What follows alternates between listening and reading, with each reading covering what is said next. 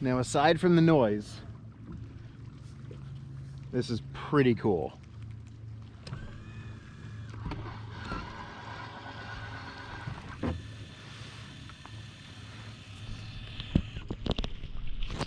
And that's why we did this.